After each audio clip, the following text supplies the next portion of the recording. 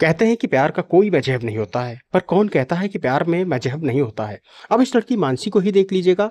इनका कहना है कि इन्होंने एक लड़के से इंस्टाग्राम पर बात की और इनको धीरे धीरे उस लड़के से प्यार हो गया। लड़के ने बातचीत के दौरान अपना नाम कमल बताया और कहा कि मैं हिंदू हूँ और अपना बैकग्राउंड भी बहुत अच्छा बताया।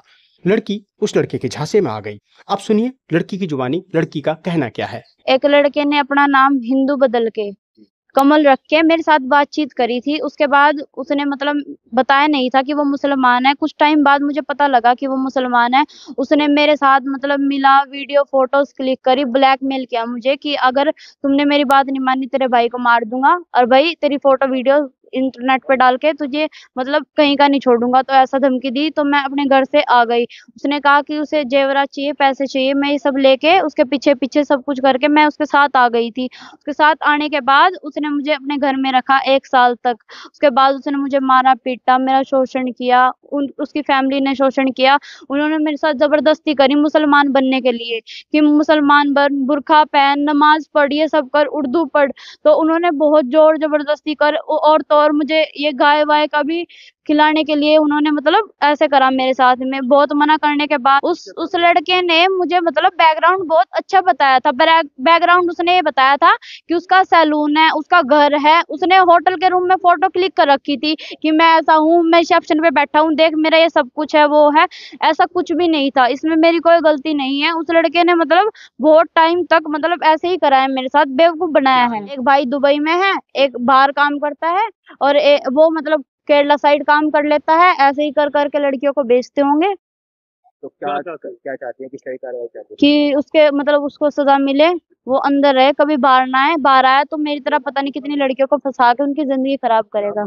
अब जैसे ही बजरंग दल को इस बात की सूचना मिली बजरंग दल एक्शन में आया और इस लड़की को बचाया। यही नहीं बजरंग दल के मुताबिक इस लड़की को केरल में पेशने की तैयारी कल अपने बजरंग दल के कार्यकर्ताओं से सूचना मिली कि एक, मानसी नाम की लड़की है संधावली में फंसी हुई है। उसे किसी तरह से निकालो। तो कल ये मानसी ने अप्रोच की बजरंग दल के पहले दिल्ली और दिल्ली से नंबर मिला यहाँ चरथावल का। चरथावल से यहाँ सूचना आई और इसने लगकर कल हमने वहाँ से निकाला। बात ये थी कि अब से करीब डेढ़ साल पहले कमल बनकर एक लड़के ने इससे इंस्टाग्राम पर दोस्ती की और अपना अच्छा काम वगैरह बताकर अच्छा परिवार बताकर इसे अपने प्यार में फंसाए रखा। पाँच छः महीने बाद ये उसके संपर्क में आई और इसके वीडियो बनाकर वो इससे, इसे ब्लैकमेल करता रहा और अब इसे वो केरला ले जाने की तैयारी में था। इसने केरल जाने से मना कर दिया। पहले मुझसे शादी कर।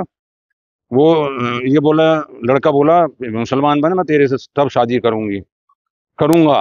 तो इसने मुसलमान बनने से मना कर दिया और कल ये हम हम इसे बचा कर निकाल कर लाए हैं। इसी संबंध में एस एस महोदय से मिले थे। हाँ एस एस साहब ने कहा है कि गंभीर मामला है। इसमें तुरंत गिरफ्तारी होगी। पुलिस ने इस मामले में सख्ती दिखाते हुए जाँच के आदेश दे दिए हैं और कहा कि दोषी पाए जाने पर कड़ी कार्रवाई होगी। सुनिए पुलिस ने क्या कहा? हरियाणा की रहने वाली महिला ने आखिर एक प्रार्थना पत्र दिया है। जिसमें संधावली थाना मंसूरपुर का रहने वाले एक मुस्लिम युवक के द्वारा अपने आप, अपना धर्म छुपा कर छुपा करके उसके साथ इंस्टाग्राम पर दोस्ती की गई और उसको झांसा दे करके उसके साथ शारीरिक संबंध बनाए। इस इस प्रार्थना पत्र पर तत्काल संज्ञान लेते हुए जिला मुख्यालय पर गठित टीम को तत्काल मौके पर रवाना किया गया है और जो भी जाँच होगी उसके आधार पर कड़ाई से कार्रवाई की जाएगी।